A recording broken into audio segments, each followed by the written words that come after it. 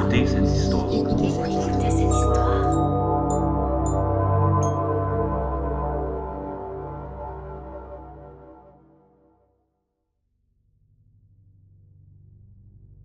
Depuis combien de jours suis-je allongée près du corps de maman?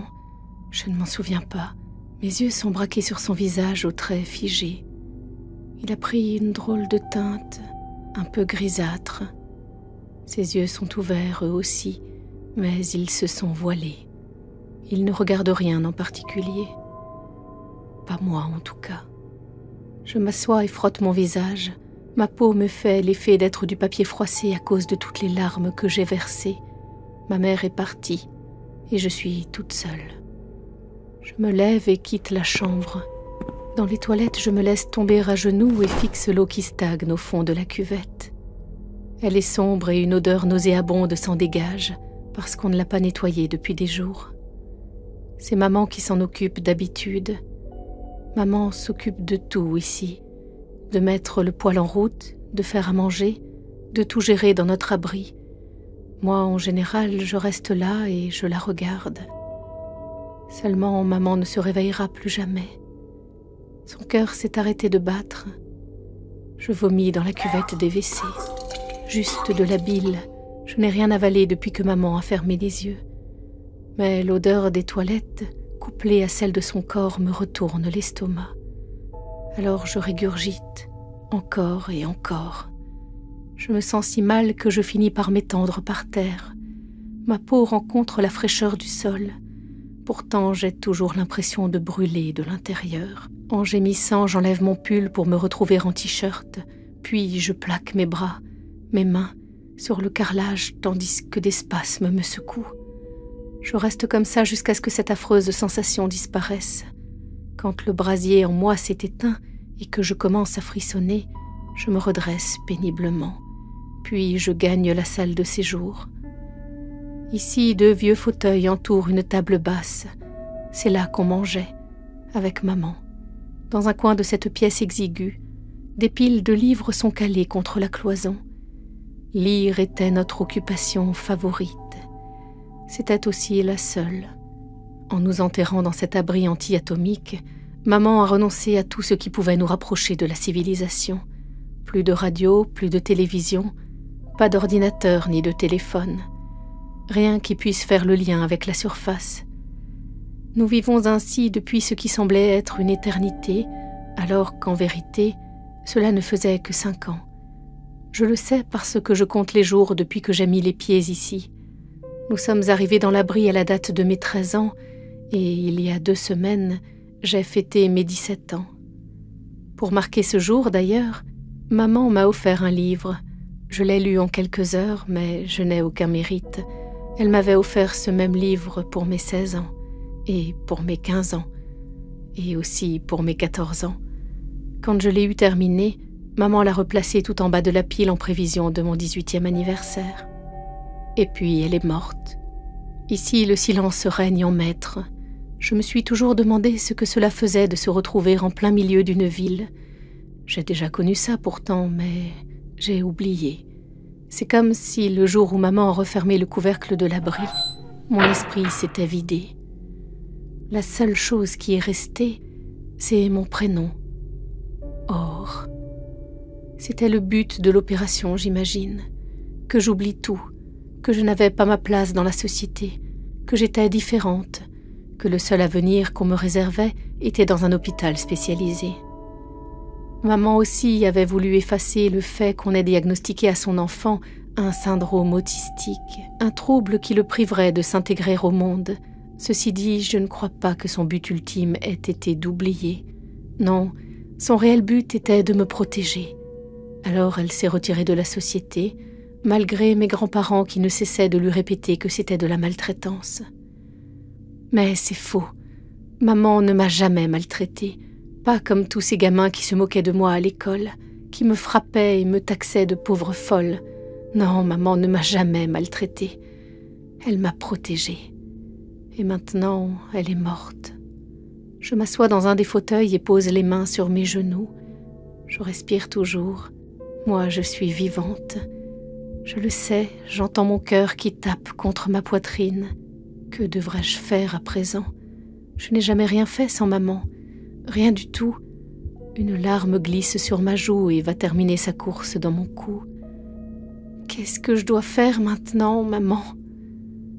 Lentement, l'idée se forme dans mon esprit, comme si ma mère venait de l'y déposer, comme un présent pour moi et moi seule. Il va falloir sortir, mon ange. J'enfouis ma tête entre mes mains. Je ne veux pas sortir, mais je sais que maman a raison. Maman a toujours raison. Dans mon sac à dos, il y a une bouteille d'eau et des paquets de nourriture lyophilisée, comme maman en entassait des tonnes dans notre réserve. Ces trucs-là peuvent durer trente ans tant qu'ils ne sont pas ouverts. Pour quitter l'abri, je ne prends que trois sachets de viande séchée et un de biscuits.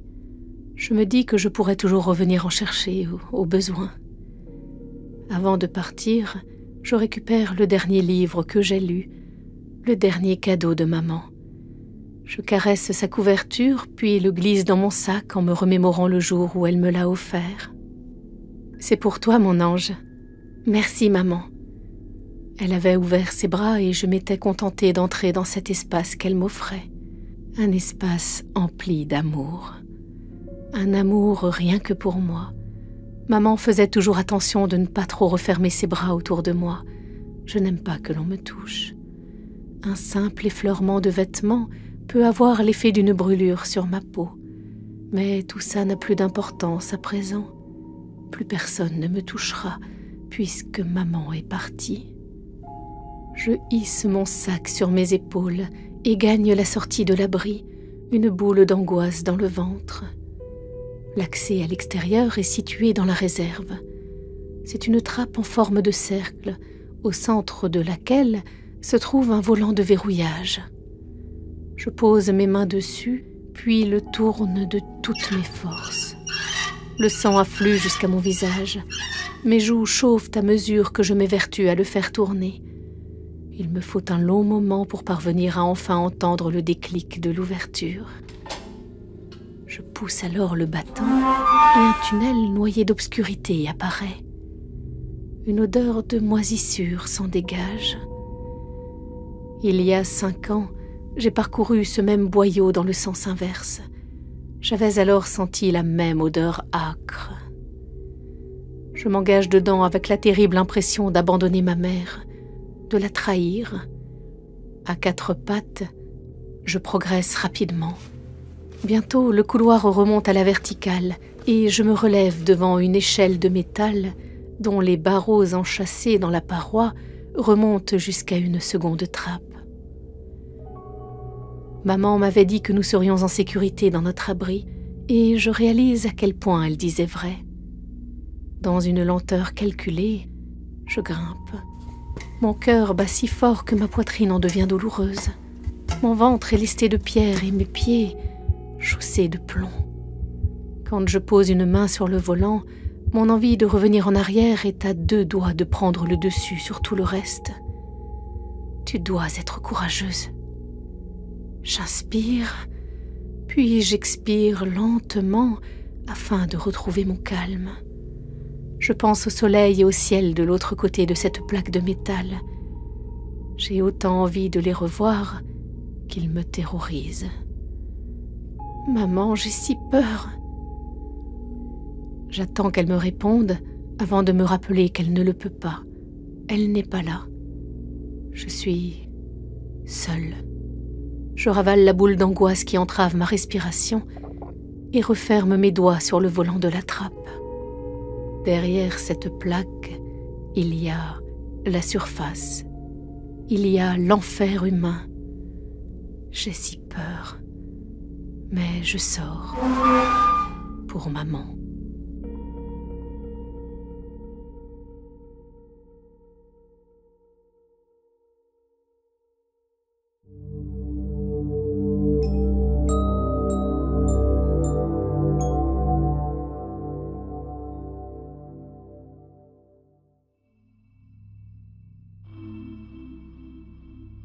Venez d'entendre Seul, une nouvelle inédite de Oksana Hope.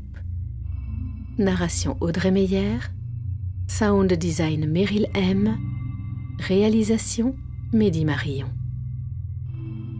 Merci d'avoir écouté cette histoire. Si le style de cet auteur vous plaît, vous trouverez les liens vers son univers, son actualité et ses livres dans la description de cet épisode. Si ce podcast vous a fait du bien, vous pouvez nous soutenir et découvrir d'autres nouvelles d'auteurs francophones. Abonnez-vous, offrez-nous des étoiles sur Apple Podcast, commentez et n'oubliez pas que les meilleures histoires se partagent. Merci beaucoup. À très bientôt.